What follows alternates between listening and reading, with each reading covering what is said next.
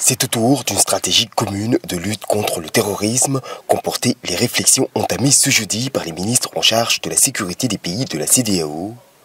Et pour cause, le forum qui s'est ouvert à Niamey intervient dans un contexte marqué par une menace qui ne se limite désormais plus au seul Sahel, mais bien au niveau régional.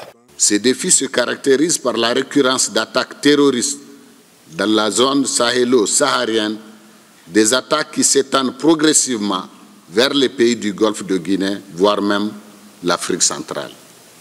Face à la montée du terrorisme et de la criminalité transnationale organisée, la mutualisation de nos ressources devient un impératif pour nos États. Une coopération dont les premiers jalons ont justement été posés durant les deux jours de travaux qui ont réuni différents services de sécurité de la CDAO L'occasion de réfléchir à une stratégie de lutte commune axée sur la mutualisation des forces et des ressources, mais également le partage d'informations. La coopération en matière de renseignement reste le pilier central de la lutte contre le terrorisme dans notre sous-région.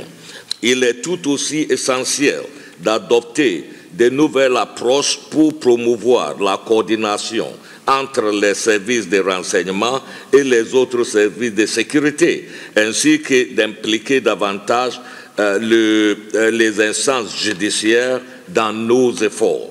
A noter que la dernière conférence des chefs d'État de la CDAO a justement adopté en décembre dernier un plan d'action régional pour l'éradication du terrorisme au sein de ses États membres.